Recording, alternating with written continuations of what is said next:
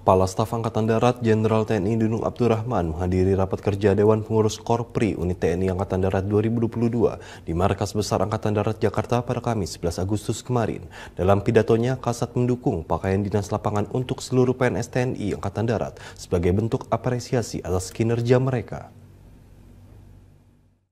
Kepala Staf Angkatan Darat Jenderal TNI Dudung Abdurrahman menghadiri rapat kerja Dewan Pengurus Korpri Unit TNI Angkatan Darat 2022 dengan tema optimalisasi pembinaan Korpri guna meningkatkan disiplin kerja dan kesejahteraan dalam rangka mendukung tugas pokok TNI Angkatan Darat. Rapat kerja diikuti sekitar 300 orang Korpri TNI Angkatan Darat, perwakilan dari Kotama dan Balakpus Segartap, satu di Mabes Angkatan Darat, Jakarta pada Kamis 11 Agustus 2022. Dalam pidatonya, Kasat Jenderal Dudung mengatakan akan mendukung seragam pakaian dinas lapangan untuk seluruh PNS TNI Angkatan Darat sebagai bentuk apresiasi atas kinerja, komitmen, dan dharma baktinya yang telah ditunjukkan dalam mendukung tugas pokok TNI Angkatan Darat.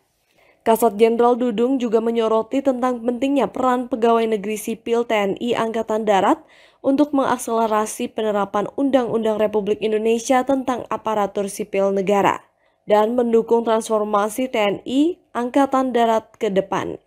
Adapun wujud aparatur sipil negara yang diharapkan oleh Kasat adalah yang berkualitas serta dapat menjaga kode etik, pegawai negeri sipil TNI Angkatan Darat dapat mampu mendukung dan memasyarakatkan visi dan misi TNI Angkatan Darat, menyelesaikan permasalahan dinas maupun di luar dinas dengan baik.